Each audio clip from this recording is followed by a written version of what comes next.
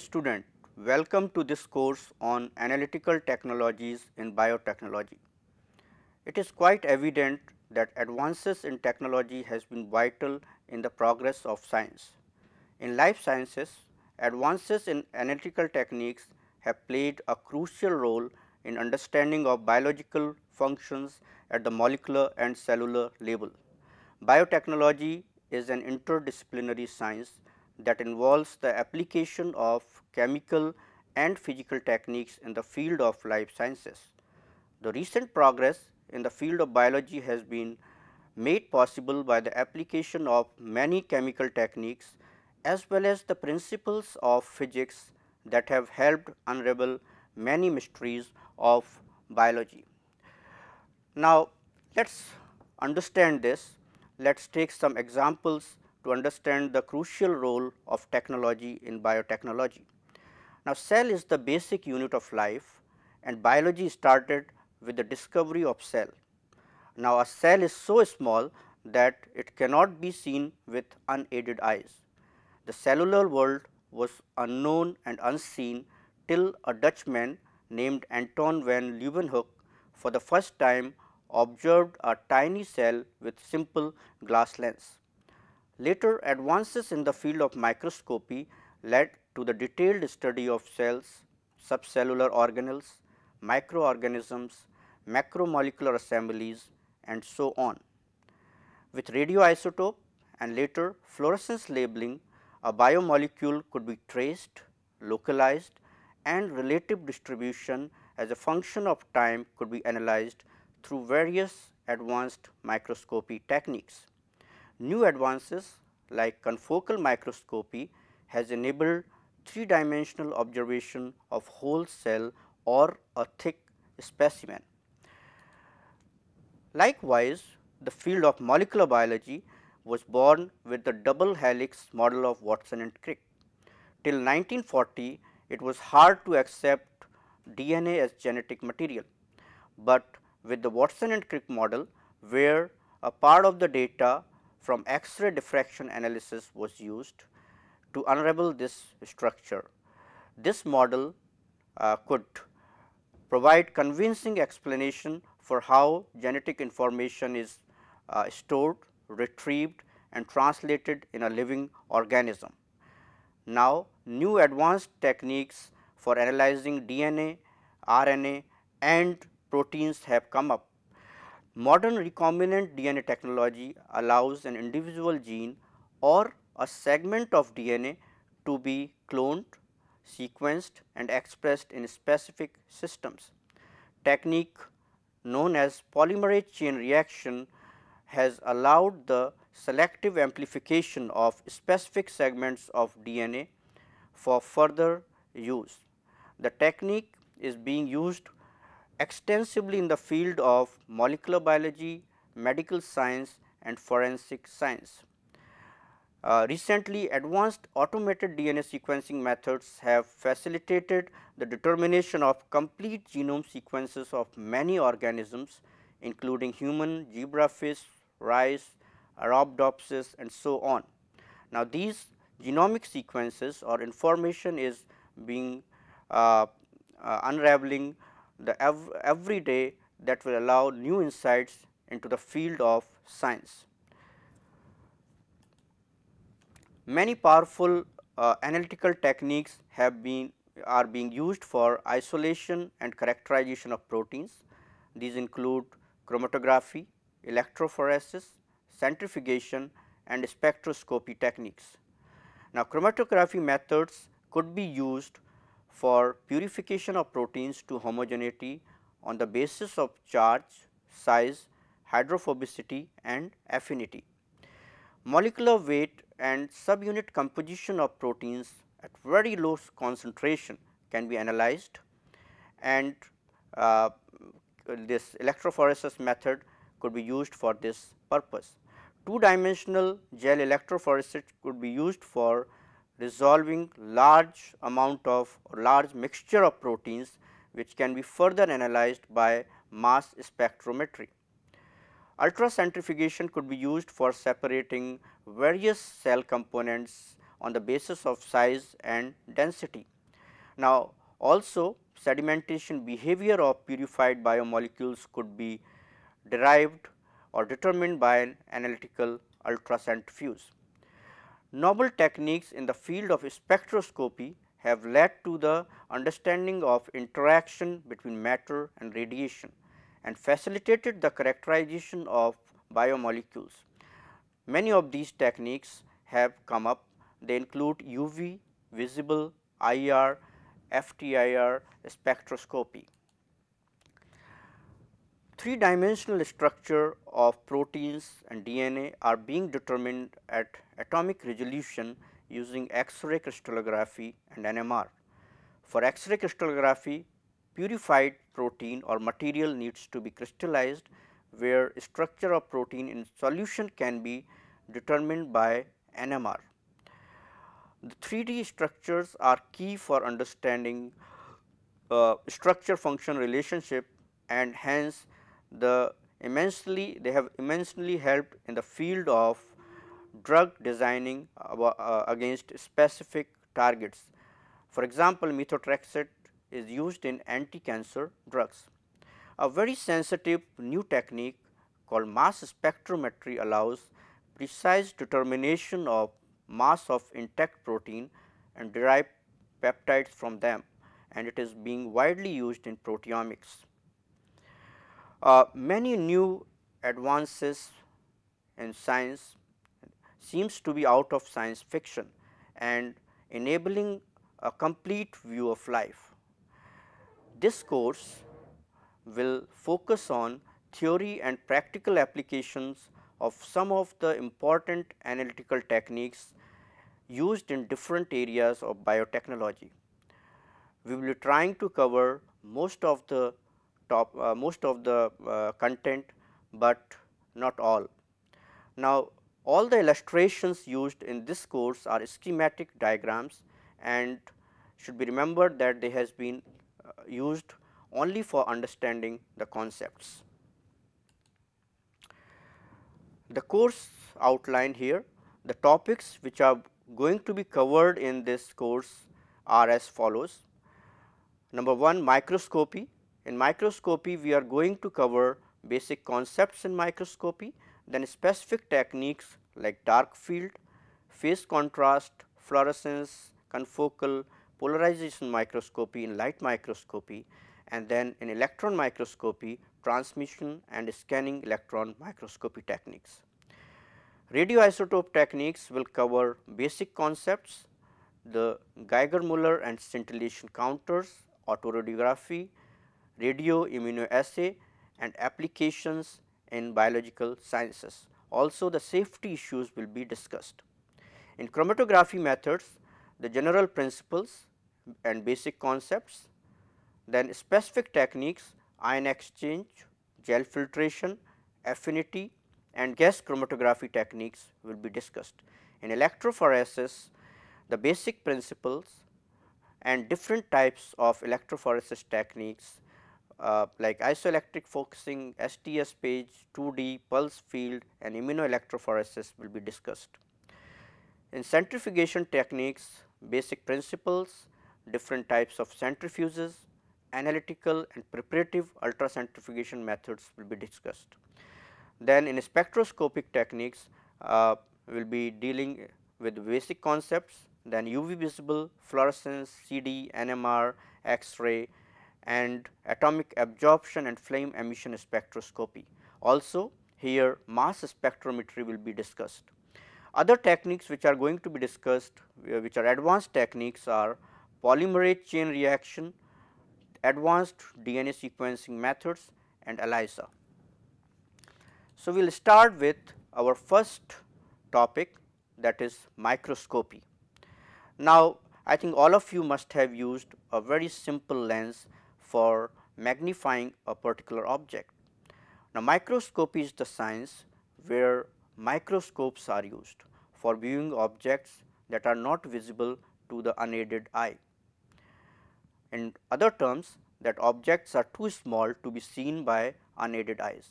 The word microscopy comes from Greek roots where micros means small and scopio means to view. So, microscopy means to view small objects. A microscope is an optical instrument that uses a lens or a combination of lens to produce a magnified image of an object too small to be seen with the naked eye. Now, there are three branches of microscopy. These are optical or light microscopy, electron microscopy and scanning probe microscopy. Now, the first two microscopic techniques that is light and electron microscopy involves various phenomena like refraction, reflection and diffraction of electromagnetic radiation or electron beams to generate an image. Whereas, scanning probe microscopy the third one for example, atomic force microscopy involves the interaction of a scanning probe with the surface of an object. Now, the first let us little bit uh, get the glimpse of the history in a in very brief of the microscopy. The first microscope to be developed was optical microscope. The first detailed account for the of the interior construction of living tissue based on the use of microscope did not appear until 1644. The greatest contribution came from Antony van Leeuwenhoek in year 1676, who for the first time discovered the microorganisms using his simple lens. Now, before uh, this Robert Hooke described the compound microscope in, in his book Micrographia published in 1665 and the most famous microscopic observation was his study of thin slices of cork. Later on after much uh, late Ernst Abbe together with Carl Zeiss in 1877 almost like 200 years defined the physical law that determined resolving distance of an objective which is objective lens we should say and that is known as Abbe's law.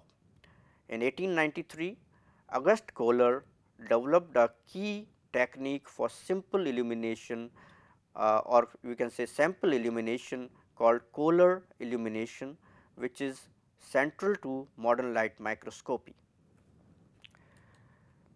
Now, development of first transmission electron microscope was started by Ernst Ruska in 1931 which was followed by the development of scanning electron microscope in 1935 by Max Knoll, where he got first scanning electron microscopy images and later by Manfred von Ardenne in 1937, who did pioneering work on physical principles of scanning electron microscope and the beam specimen interactions. In 1953 to 55, Fritz Zernike and George Nomarski contributed towards the development of phase contrast and differential interference contrast illumination, which allowed imaging of transparent samples. The 1980s saw the development of first scanning probe microscope and from then a lot of advancement has taken place in the field of microscopy. Now, let us start with the microscopy and let us discuss some of the terms which are related to microscopy. The first term we are going to discuss is absorption. I think everybody understand about absorption.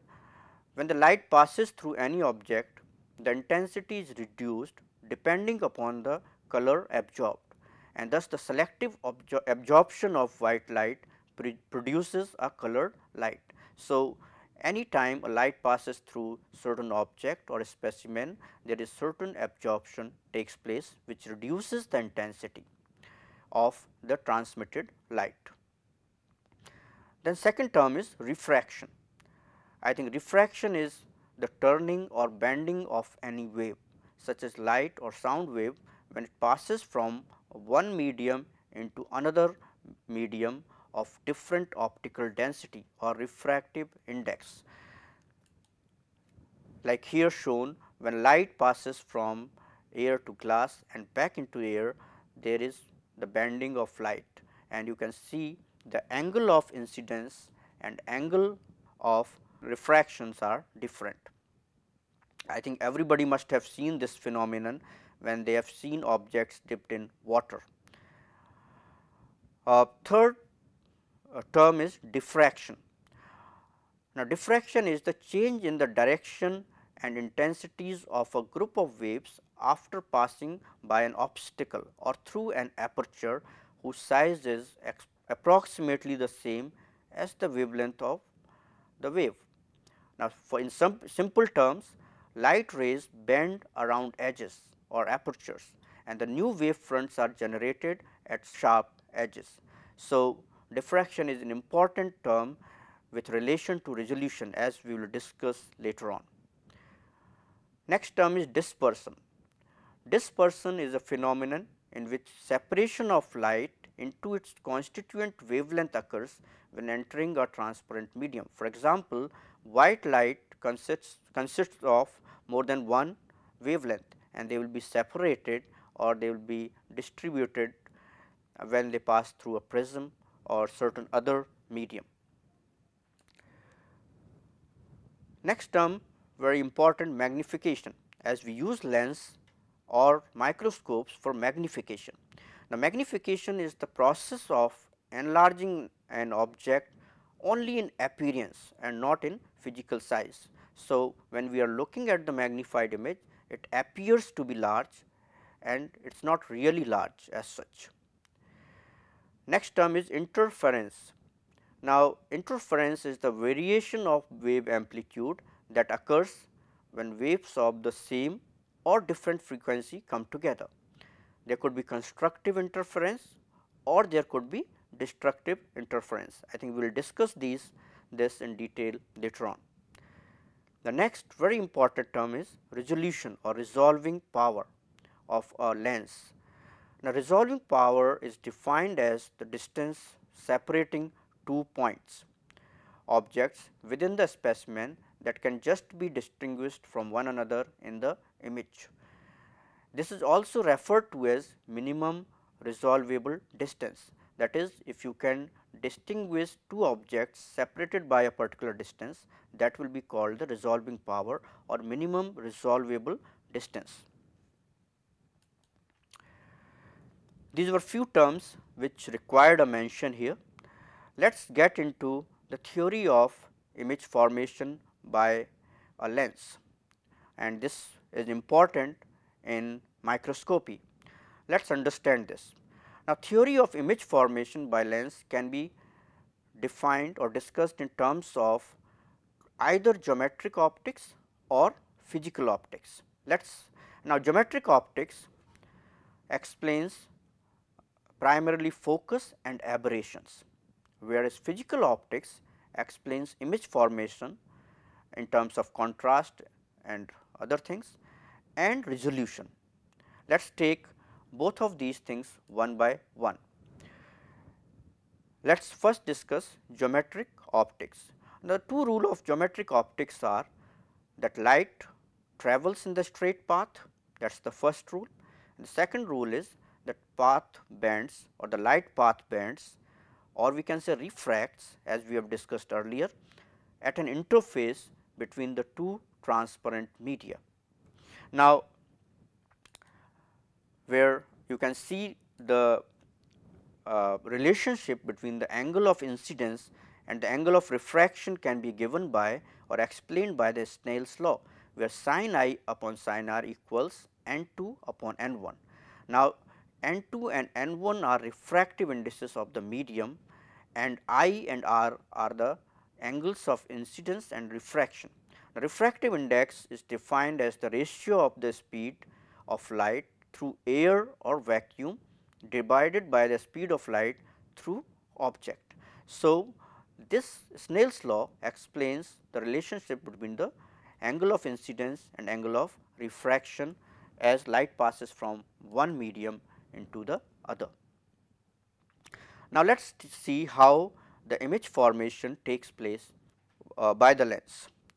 Now, here what we have shown is a convex lens. Now, lenses could be of two types mainly. One is converging lens which is convex or double convex lens and other is diverging lens or concave or double concave lens.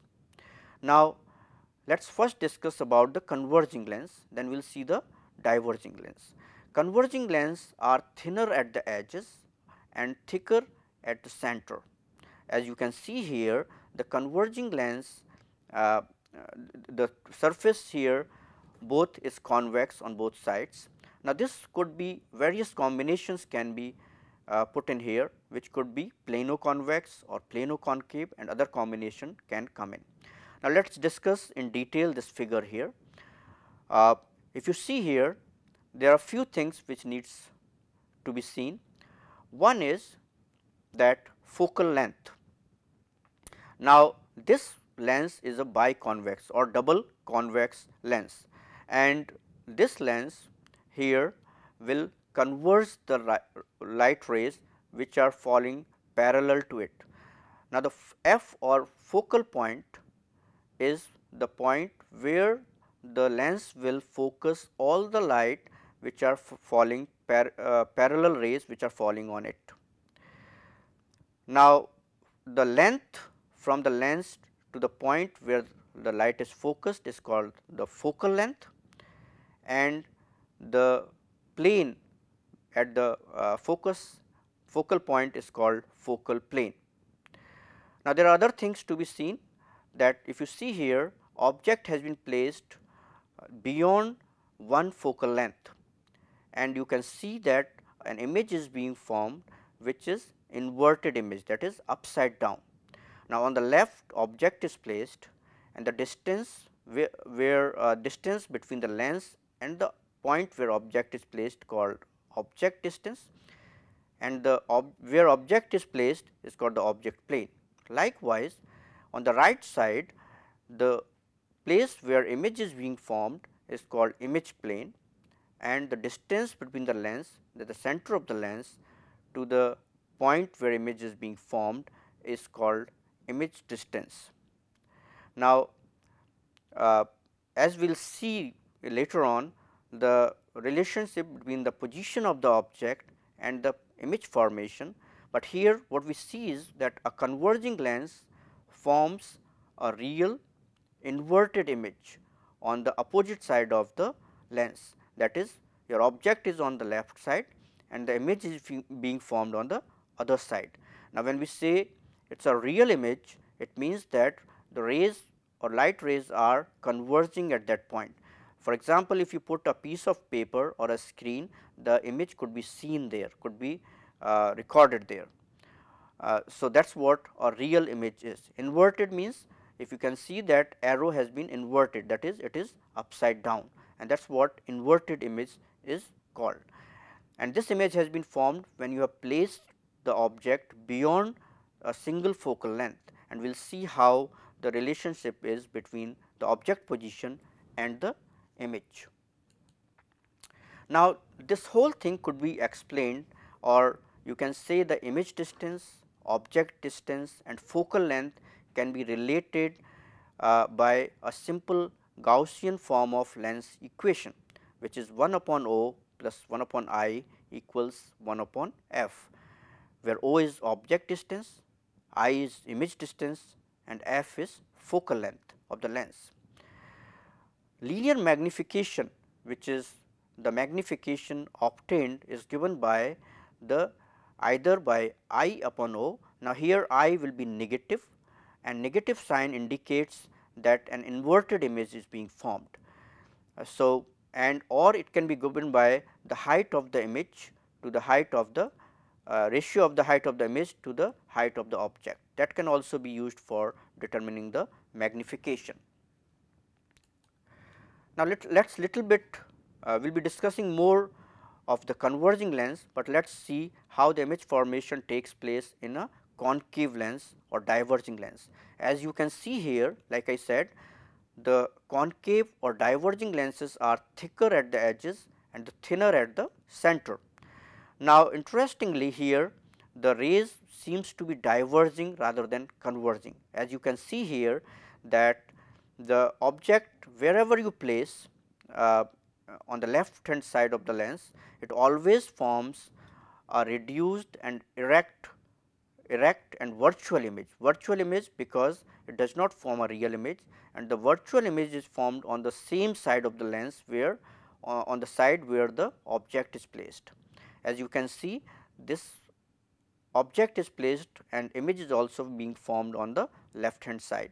Now, here both f and i are negative quantities in lens equation because image distance is on the left hand side and the focal point in terms of that if you draw backwards the diverging rays from the lens it will focus it will come to the focus and that is why the f and i are negative quantities in the lens equation.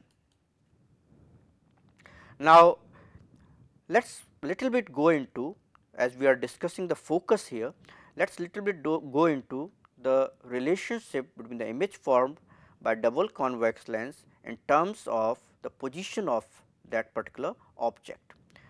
Now, first situation could be or first option could be that object is placed at infinity. Now, when object is placed at infinity then parallel rays of light uh, will hit the lens or will fall on the lens.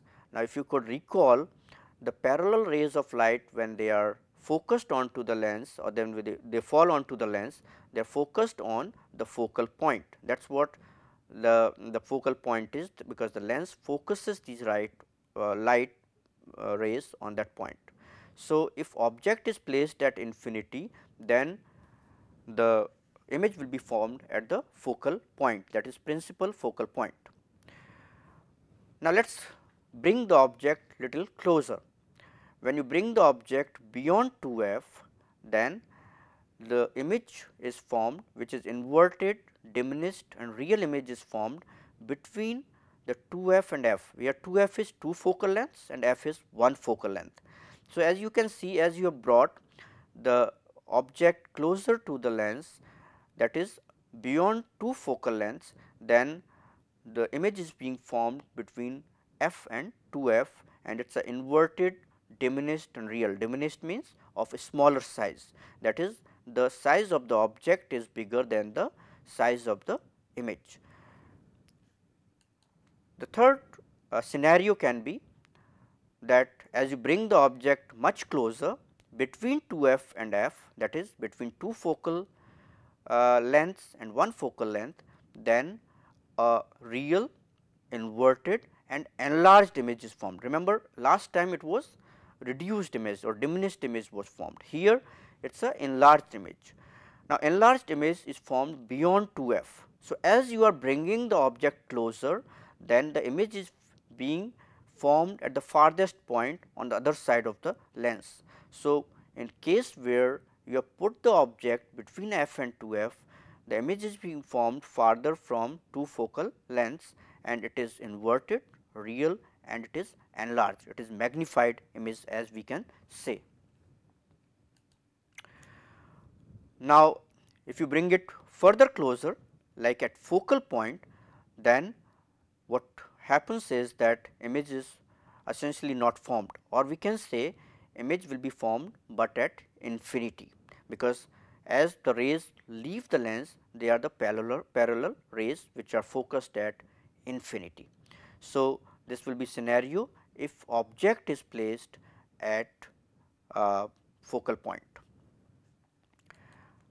Now, the last scenario is that you can bring the object further closer to the lens that is before the focal point or less than one focal length. Now, in this situation what will happen is that rather than a real image is being formed, a virtual upright and enlarged image will be formed and as we say virtual image then this image is formed on the same side of the lens as the object is placed.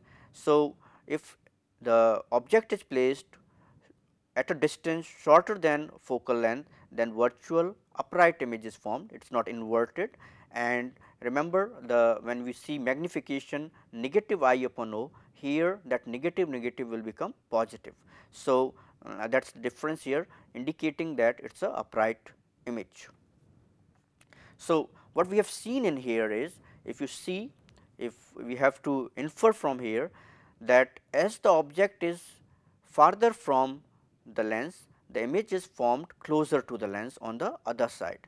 But as you bring the object very close to the lens, the image is formed at the farthest end or far uh, uh, much further from the lens on the image plane side or on the right hand side.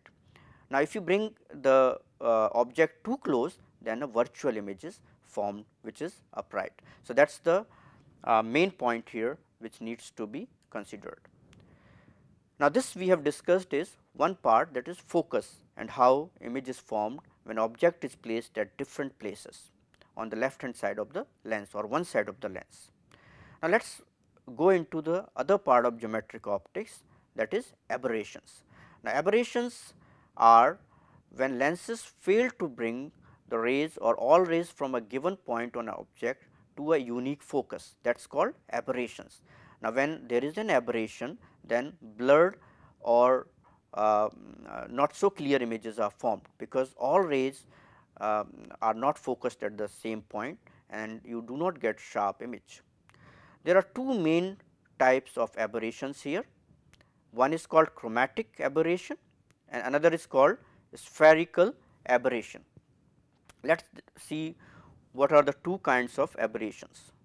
Now, chromatic aberration is occurs because index of refraction of any substance depends upon the wavelength and the position of focal point is dependent on wavelengths. So, what happens is that supposing a white light containing different wavelengths is focused on the lens, then they will be focused at different points. They will not be focused at the same point. Like for example, blue light will be focused closer to the lens like it will have a smaller focal length as compared to the uh, higher wavelength light for example, red or green. So, these lights are not focusing at the same point and what you get is a blurred image with different color separation. Now, this chromatic aberration is a kind of problem but it has been corrected by using a lens system consisting of several types of glasses or lenses for which the relationship between the index of refraction uh, and wavelength uh, balances to make, make the refractive index independent of wavelength. So, what you get is you get a clear and sharp image in the corrected lens systems and these are called achromatic or apochromatic lenses. The next aberration is physical aberration or spherical aberration as we call it and it is also called principal point imaging aberration. Uh, uh, now, here it results from the fact that all rays from a single point do not pass to the same unique point or same image point and because of this because they are passing from different parts of the lens. As you can see here the rays passing from different parts of lens are being focused at different places like one which are passing from the edges are focused closer as compared to those which are passing through the center. And this is uh, a problem with lot of lenses and the spherical aberrations like chromatic aberration also has been corrected by appropriate lens constructions. So, both in advanced microscopes now both chromatic aberration and spherical aberrations have been corrected and these are called aplanatic lens like achromatic lenses. There is one uh, point imaging aberration I just wanted to show here that is coma because it gives a comet shape um, to the object uh, and uh, in the image plane and the symmetry is almost lost here. So, these were two aberrations which were common, but now in advanced systems these are have been corrected with combination of lens systems. So, this was about geometric optics. Now, let us go into the physical optics. Now, physical optics explains image formation and resolution, the two important things image formation in terms of contrast or sharp images being formed and resolution. Now, here in physical optics light is considered as an electromagnetic radiation, it is a wave form and light is diffracted at edges and apertures and can interfere constructively or destructively.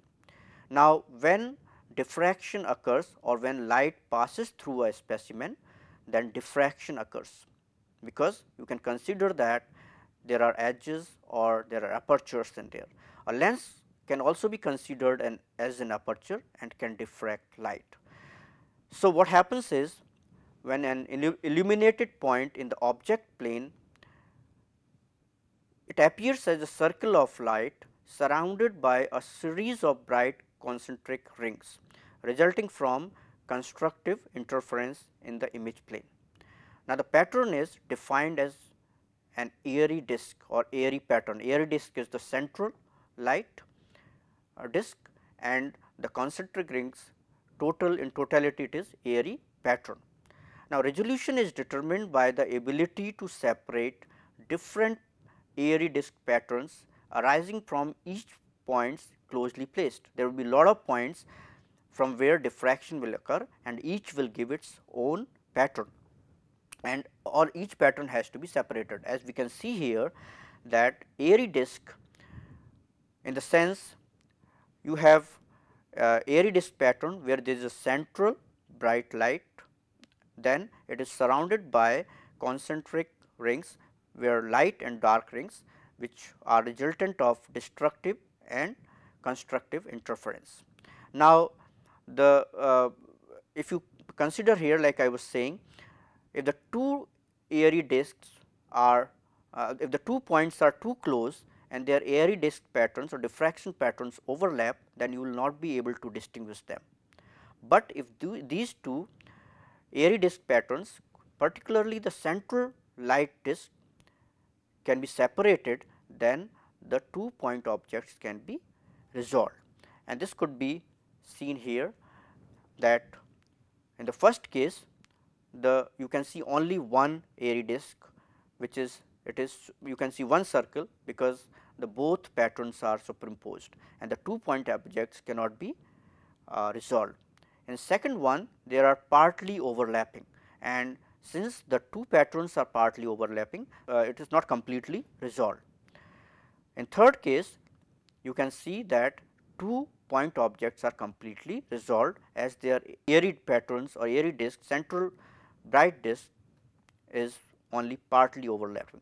So, uh, to uh, get resolution or to see two point objects as a separate entities these two uh, diffraction patterns has to be resolved.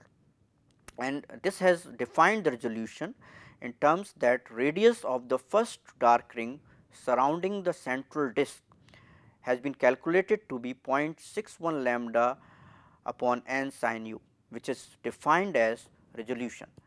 We can see it in detail here that resolution limit or minimum distance that two points in an object must be separated to resolve is given by d which is the minimum distance which could be resolved by 0.61 lambda upon n sin u. Now, here the minimum distance or d which could be resolved is limited by the wavelength. So, you, if you see lambda is the wavelength, u is the angle uh, made by the lens and uh, at axial object and it is the half the angle you can say of the total cone of light. You can say uh, as of aperture or one half of angle of light entering the lens here. Then n is the index of refraction of an on object side of the lens. Now, most of the time you will have uh, air as the uh, as the medium and n will be the index of refraction of the air, but there could be lenses where you could have uh, oil immersed lenses or water immersed lenses as we will see. Now, resolution can be increased by decreasing wavelength like here one has to understand the as decreases we say resolution is increasing. So, d has to decrease in order to increase the resolution. So, if you decrease the wavelength d will decrease and hence the resolution will increase. Increasing n that is refractive index. So, when you have oil immersed lenses the refractive index is higher and you can get better resolution and increasing u. As you bring the lens closer to the object the u will increase and that will certainly increase the amount of light gathered and that will certainly increase and therefore, it will increase the uh, resolution obtained. Now, the denominator that is n sin u is called numerical aperture. Now, uh, this in optics as we say numerical aperture uh, of an optical system is a dimensionless number and it characterizes the range of angles over which the system can accept or emit light. N is a constant for each lens and is a measure of its light gathering qualities. The maximum possible numerical aperture for an object designed to be used in air is 1 because refractive index of air is 1. Uh, practically it can be made uh, it can be up to 0.95, uh, but you can increase that numerical aperture like for example, glycerin uh, refractive index is 1.33 uh, and uh, for immersed oil uh, it is 1.51. for water it is 1.33, glycerin it is 1.47 and for immersion oil it is 1.51. Now, for objectives immersed in oil uh, numerical aperture is up to 1.5 and so you can increase the resolution drastically. Uh, the wider the angle the lens is capable of receiving light, uh, uh, the greater will be the resolving power. And how can we understand? This could be understood by simple uh, diffraction uh, term. Now, as the object diffracts the light, then the higher the order of diffraction that is if two point objects or two points in the specimen are closely placed then they will diffract the light at higher angle rather than the two points which are not so closely placed. So, higher the order of diffraction that is higher the angle of diffraction the more will be the information contained in it and if the lens can collect, uh, collect higher orders of diffraction then it can provide higher resolution or you can say the lens has higher resolving power. Now, what is like useful magnification like for example, we can use different lenses with different magnification powers, but what is the useful magnification in terms of resolution. Now, here it has been given that useful magnification as has been calculated is approximately 1000 times the Na of the objective lens that is numerical aperture of the objective lens. Beyond this results in empty magnification and the image deteriorates. So, what we have to see is that if you have say objective of 40 x and say other lens that is eyepiece as we will discuss of 5 x or 10 x to a certain label that is if Na is 1 then 1000 times you can uh, 1000 x could be the maximum magnification you can go for getting the maximum details of the specimen, but beyond that point the image uh, will be deteriorated and you will not get any more information. Now, higher NA is achieved by using lens with a short focal length which allows lens to be placed very close to the specimen and decreasing the wavelength. Now, limit of resolution. If you consider all uh, different uh, things, uh, so limit of resolution of light microscopy can be determined by substituting minimum possible wavelength and maximum possible Na. Now, the value obtained with the conventional lenses is about 0.2 micrometer which is sufficient to resolve large cellular organelles. So, that is the limit of resolution for light microscopy because you cannot go below a certain wavelength for light microscopy and you could have only you can numerical aperture could reach up to certain uh, place uh, for example, in oil immersion lens it could be highest. So, you have if you uh, if you substitute maximum values for this the uh, resolution will go up to little less than 0.2 micrometer and which is quite good for uh, many uh, cellular experiments or to view many cellular organelles. Uh, if you compare it with the naked eye the numerical aperture of naked eye is 0.004 which is and limit of resolution is around 0.1 millimeter. So, you cannot see uh, at the best you can see up to 0.1 the objects or the points which are separated by 0.1 millimeter. Now, let us uh, go into little bit uh, as we have seen through the physical optics and geometric optics. Let us summarize the two uh, things. In geometric optics, what we are discussing is the focus and aberrations, where you have seen that lens focuses the light on a certain point, which is called principal focal point and the object the image formation takes place in terms of where the object is placed. Other thing was the aberration. Aberration was that lens fails to focus lights at the, uh, the lights of different wavelengths at the same place or which is a chromatic aberration and the spherical aberration because of the construction of lens or uh, because of the light passing through different parts of the lens is not focused at the same place. Therefore, the, uh, the spherical aberration or point imaging aberration occurs and both has been corrected for the in the advanced microscopes. Resolution is again function of like we have seen that wavelength, the refractive index and the angle at which the light is being collected. So, the n sin u that is numerical aperture is very important here in terms of uh, uh, uh, determining the resolution and terms of light gathering capabilities of a lens. Today we will stop here.